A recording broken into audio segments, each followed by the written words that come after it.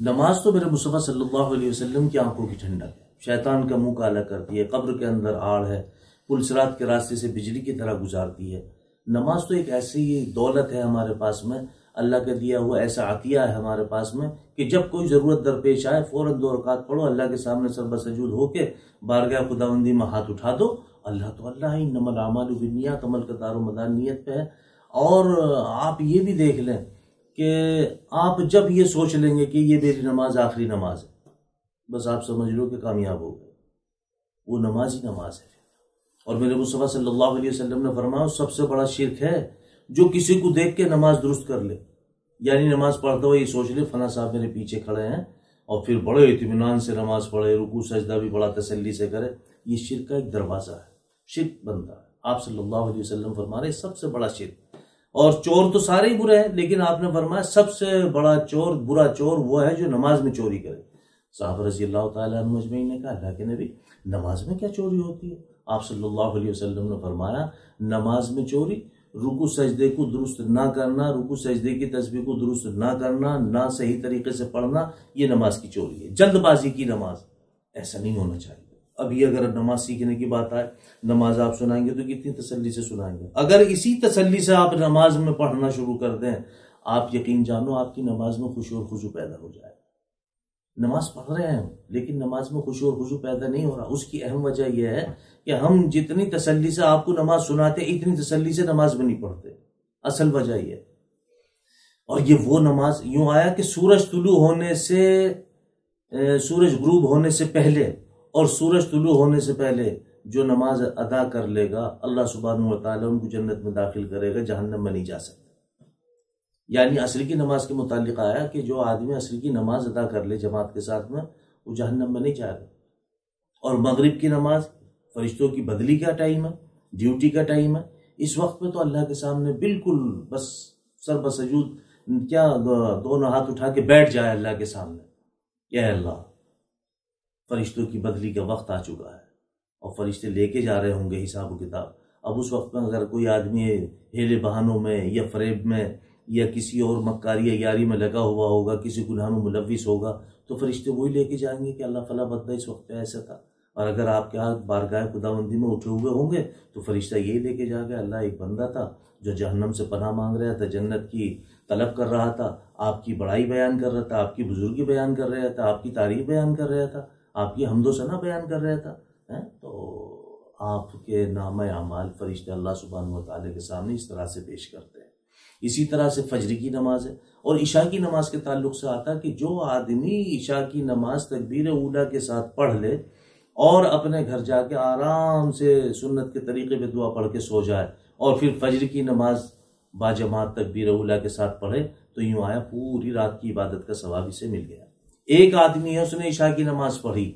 ईशा की नमाज़ पढ़ने के बाद सारी रात उसने कुरान करीम पढ़ा और फिर शहरी खाई, सुबह को रोजा भी रखा, लेकिन फजर की नमाज़ के वक्त पे सो गए। फजर की नमाज़ के वक्त पे सो गए। इसी तरह से एक आदमी है, उसने ईशा की नमाज़ पढ़ी और उसके बाद में कुछ नहीं किया, बस उसने दुआ पढ़ी सोने की और अपना गया, सुन्नत के तरीके पे लेटा, सो गया। सुबह फजर की नमाज़ उसने जमात के साथ पढ़ी। तो पता ये चला, ये रात भर का जागने वाला, खड़ा होकर कुरान करीम पढ़ने वाला, सुबह को रोजा रखने वाला, फजर की नमाज़ से गाफिल रहा। ये और एक वो कि जिसने सिर्फ़ ईशा की नमाज़ पढ़ी है, वो अपने घर जाके सो गया। तो पता ये चला कि अल्लाह सुबहान तला के नज़दीक ये बंदा ज़्यादा पसंद है जो ईशा की नमाज़ पढ़ के सोया था फजर उठ के इसने बाजमात पढ़ ली। जिसने ईशा की नमाज़ जमात के साथ पढ़ी, उसने उसको आधी रात की इबादत का सवाब और जिसने फजर की नमाज़ भी जमात के साथ पढ़ी तो पता है चला कि पूरी रात की इबादत का सवाब और फिर अल्लाह सुबहान व फजर की नमाज़ के बाद में रिस्क तकसीम करते हैं। इसलिए सबको उठा लेना चाहिए। बल्कि एक मरतबा तो आप सल्लल्लाहु अलैहि वसल्लम ने हज़रत आयशा सिद्दीक़ रज़ी अल्लाह से कहा, आयशा, उठो और सबको उठाओ, क्योंकि रोज़ी तकसीम होने का वक्त है।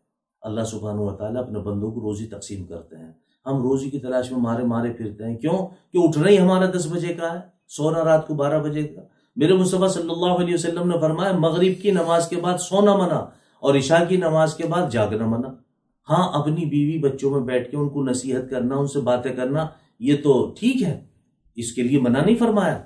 लेकिन कोई आदमी बिला वजह ईशा की नमाज़ के बाद में जागता रहे, मसलन ये सबसे बड़ा तो अब इस हाथ में मोबाइल है। मोबाइल देखता रहे, टीवी चलाता रहे या ओल फोल बकता रहे, किसी भी उसमें, उसके लिए बना फरमाया कि नहीं।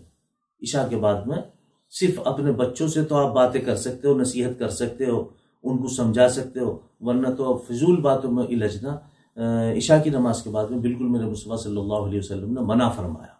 इस पर हमें यकीन करना चाहिए और फिर आगे फरमाया कि जिस घर के दरवाजे अपनों के लिए बंद और गैरों के लिए खुल जाए और रात को दरवाजे देर से बंद होना शुरू हो जाए और सुबह को देर से खुलना शुरू हो जाए।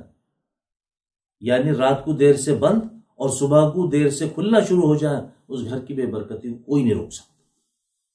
उस घर की बेबरकती को कोई नहीं रोक सकता। इसलिए मेरे भाइयों, आज घर, दर दर की लोग ठोकरे खाते फिर रहे हैं। रिस्क की तलाश में फिर रहे हैं और रिस्क तकसीम होने के वक्त पे हम सोते रहते हैं। अल्लाह समझ की तोफिक नसीब फरमाए। हर मोहल्ले में हर मस्जिद में अल्लाह का शुक्र है। मस्जिद वार जमात के ताल्लुक से लोग काम कर रहे हैं, लोगों को बेदार कर रहे हैं, नमाज़ के लिए भी कह रहे हैं। नमाज़ पढ़ी जा रही है। घर में चार है, एक आदमी नमाज़ पढ़ रहा है, तीन आराम से सो रहा है। ऐसा नहीं होना चाहिए। अल्लाह से सब मांगे, आप भी मांगे, बच्चे भी मांगे, बीवी भी मांगे, बेटी भी मांगे, अल्लाह अता फरमा देंगे। अल्लाह तो देने पर कादिर लेकिन अल्लाह दे के भी आजमाते हैं लेके भी आजमाते हैं।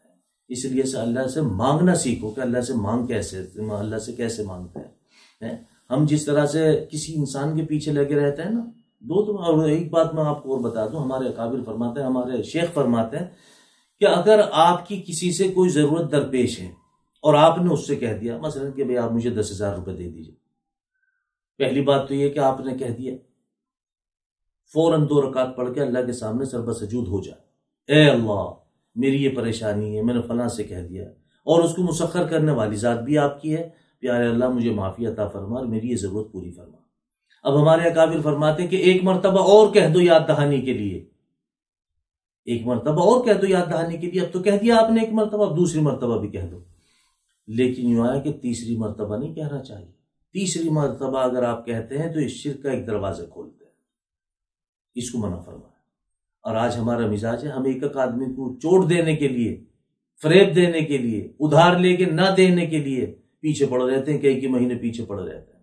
जितना टाइम आप उस आदमी के पीछे बर्बाद करते हो, अगर इतना टाइम अल्लाह सुबहान तला से मांगने में लगा देते तो ये दुनिया खुद ही आपके कदमों में चल के आती और जलील होके आती। आप कभी ऐसा करके देखें। आप कभी ऐसा करके देखें, आपको अंदाज़ा हो जाए नमाज़ आदमी पढ़ रहे हैं और दुआ मांगे और कबूल ना हो, ये मुमकिन नहीं हो सकता। ये मुमकिन नहीं हो सकता। इसलिए मेरे भाइयों, नमाज़ सीखो, नमाज़ सुनाओ, नमाज़ पढ़ो। समझे? आपको पता नहीं है, सब कुछ अल्लाह ने नमाज़ में छुपा के रख दिया है। क्योंकि ये अल्लाह से मांगने का ज़रिया, अल्लाह से मुलाकात का ज़रिया है। ये मोमिन की महराज है। ये मोमिन की महराज है। हमें समझना चाहिए इसके लिए। नमाजों को पाबंदी के साथ पढ़ें इनशाला और फिर अल्लाह सुबहान वाली नमाजी की सबसे पहले रिस्क की तंगी दूर करते हैं। और आज हमारा मसला सबसे पहले रोजी रोटी का ही है। ये अगर ख़त्म हो गया तो इंसान की तमाम उलझने ख़त्म हो गई, है? इसका दो जिम्मा अल्लाह ने ले रखा है। रिस्क को हम तलाश करते फिरते हैं। अरे भाई, ये दुनिया जो है, इस दुनिया को, दुनिया में जो हमें भेजा है, ये इम्तहान के लिए भेजा है। जो आखिरत की ज़िंदगी हमेशा हमेश की ज़िंदगी है, उसको कामयाब करने के लिए दुनिया में भेजा। हम दुनिया को बेहतरीन बनाने के चक्कर में लगे हुए हैं। दुनिया को में जो भेजा है, आखिरत को बेहतरीन बनाने के लिए भेजा है।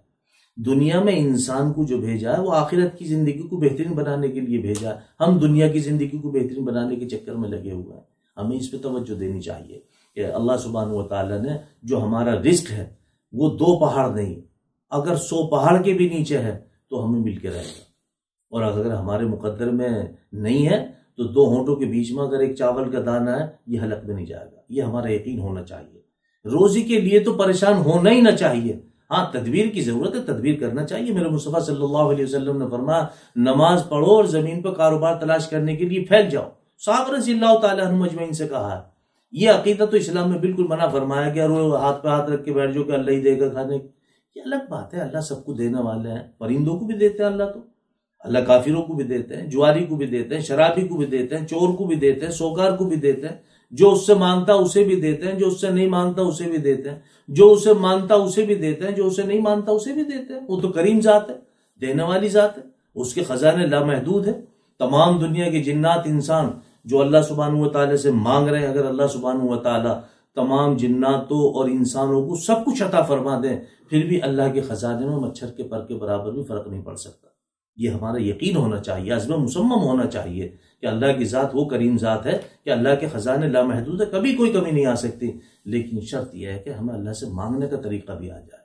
अल्लाह तो कहते हैं, और अल्लाह कहते हैं फरिश्तों से कि देखो ये इतना मांग रहे हैं ना, अल्लाह से ज़्यादा से ज़्यादा मांगना चाहिए। अल्लाह सुबहान व खुश होते हैं फरमाते हैं कि इसे पता है, इतना मैं ही दे सकता हूँ, दूसरा नहीं दे सकता। हम्म? इसलिए भाई नमाज़ पढ़ो, नमाज़ सीखो, नमाज़ सुनाओ सब कुछ अल्लाह सुबहान व ताला ने नमाज़ में छुपा के रख दिया, क्योंकि सबसे पहले सवाल भी नमाज़ का होगा, कब्र के अंदर भी नमाज़ का सवाल होगा, और फिर ये नमाज़ जो है कब्र के अंदर आड़ बनेगी, ये खुद आपका जवाब देगी। पता लगा मुनकर ने कि ये सोचेंगे, अरे ये तो पहले ही है और हमसे सवाल कर बैठेगा। चलो, पहले सवाल में अल्लाह सुबहान व ताला इंसान को पास कर देते हैं। अल्लाह हम सबको समझ की तोफीक नसीब फरमाए। नमाजों को पंच वक्त का पंच वक्त नमाज़ के साथ साथ तहजद चाश्त वबीन के लिए भी कबूल फरमाए। और ये भी आप याद रखें, मुस्तकिल तहजद की कज़ा पर भी सवाल होगा। मुस्तकिल तहजद की कज़ा पर भी सवाल होगा। सारी ज़िंदगी लोग इरादा करते हैं, इंशाल्लाह आज उठेंगे तहजद पढ़ेंगे सारी ज़िंदगी ना उठ पाते, ना तहजद पढ़ पाते। मेरे मुस्तफ़ा सल्लल्लाहु अलैहि वसल्लम ने इसको सहल कर दिया। वमा काना बाद ईशाई फहुआ मिनल ईशा की नमाज़ का जो सलाम हो तहजद की नमाज़ का आगाज़ ईशा की नमाज़ पढ़ें, चार फ़र्ज़ पढ़ें, दो सुन्नत पढ़ें, तीन वितर पढ़ें, उसके बाद में आप दो, चार छः आठ, दस, जो भी हो, अल्लाह तोफीक दें तहजद की नीयत से पढ़ लें। उसके बाद आप सो जाएँ और वक्त पे अगर आँख खुल जाए, जो मुबारक वक्त है, बहुत मुतबरक वक्त है सुबह सादिक से पहले तो आप दो रकात और पढ़ लें। पता लगा वह क़यामुल्लैल भी हो गए उसहाबुल्लैल भी हो गए। इसलिए मेरे भाइयों, मुस्तकिल तहजद की कज़ा पर भी सवाल होगा। और मुस्तकिल जो मुस्तहबात है, मुस्तहब पे भी सवाल होगा। यासिर की सुन्नत आप कभी पढ़ते थे, कभी छोड़ते थे, हम मुस्तकिल मिजाजी से छोड़ बैठे। ईशा की सुन्नत जो गैर मौकता है, उनको पढ़ते ही नहीं। असरी की सुन्नत जो गैर मौकता है, उन्हें पढ़ते ही नहीं। इनको पढ़ना चाहिए। इस पर सवाल होगा। इस पर सवाल होगा। कि आपने क्यों नहीं पढ़ा?